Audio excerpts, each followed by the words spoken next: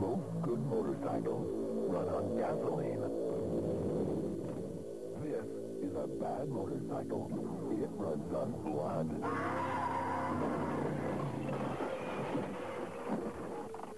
Name of the Father, and of the Son, and of the Holy Ghost. Noddy. Noddy. Hello, Noddy.